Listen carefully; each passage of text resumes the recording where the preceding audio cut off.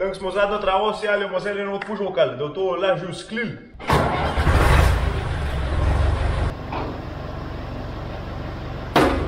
Evo, noge se takole pet na gor zasučajo, na hiter.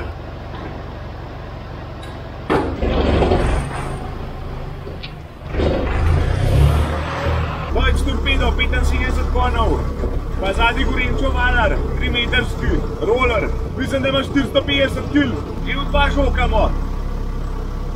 Notor je val prazen, se ga da z vodo naliti, ali pa najbolje pa kakšna suha milka, pa tudi težka je, tako da imaš poj valar težek okoli tone, če, če tega je not nalil.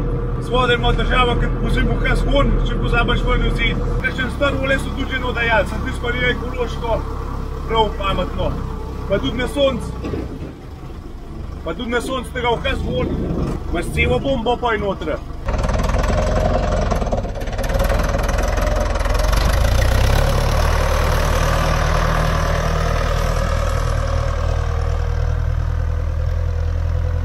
V glavnem jaz imam v traktorju skozi v hitrih brzinah, po da tret prstav. Ne vem, ko grem na uro, pa pa vem. Likem prav se mi zdi. Tlač se dober, tako da je tu malo kamne požoga od tla, pa te kebe pa to, da je boj ravna fleka, pa zato, da se ime lažje usklije, da ga malo zabije. Tiste preklop spodaj je malo gibljiv, da ima plava po terenu valar, je pa tole tudi čisto tak fleten del. V bistvu se sam gor pa dol voziš, zamudem pa tudi ni neki, da 3 metre pobiraš, predvsem hiter letiš, da je hiter podivan.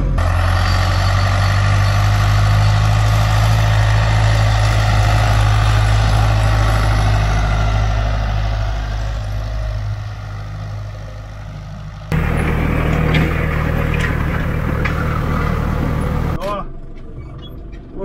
V brzino.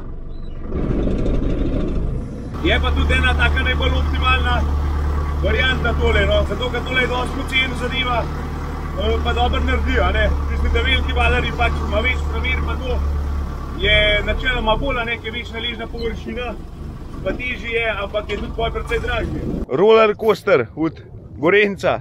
Malo sem ga zaprašil. Sebe pa tudi, ki se me je flit nakadil not v kabino.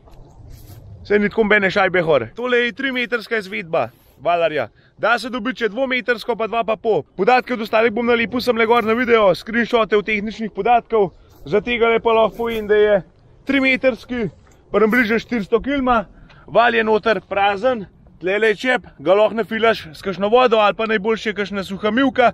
To se pravi, volumna not je pa 350 litrov. In če to zafilaš, pride pa je to 1100 kg. Tlele imaš tile čistilce, če se kaj blat pa to gor nabira, da je čet. Priklop je tudi gibljiv, tako da se čim bolj prilagaja terenu. Tele 3 metrski so še najbolj optimalni za delati, zato ker se najlepš prilagaja terenu. Tale val je tudi širok. To je pa to, no, se ni benih kakšne posebne umetnosti. Lepo je narejen, po dizajnsko je lepo izrezan, iz, izoblikovan. V glavnem na polje postaviš, povalaš in to je to. Tako kot sem jaz zdaj tole naredil, tle je trava osjana. Tole travo sem pogrubal pa osjal, z grubarjem tudi, s terasofterjem.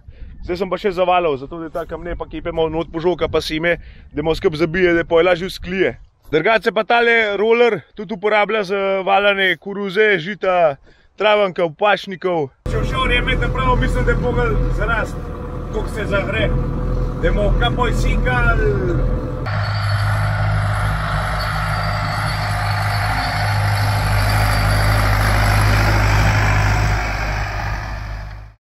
ko hajdej, živ, evo, čez dva meseca, od takrat, ko smo valjali. Kola je, lik za pokusiti, kosilnico imam že napreženo, da bomo pa tole dol potovkli. Živ!